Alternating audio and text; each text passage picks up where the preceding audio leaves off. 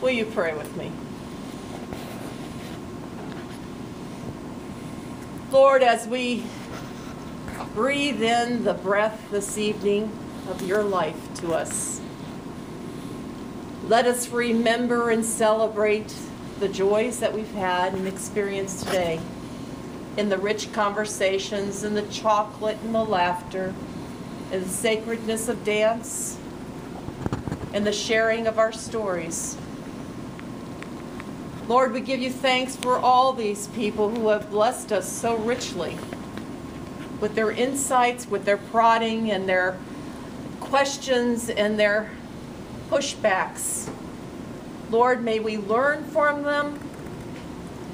And God, Creator, can we create together your new heaven and new earth as we pick up this task tomorrow morning refreshed? Always in the name of your Son, our Lord and Savior, Jesus Christ. And God's people say, Amen. Good night. Enjoy your dinner or whatever.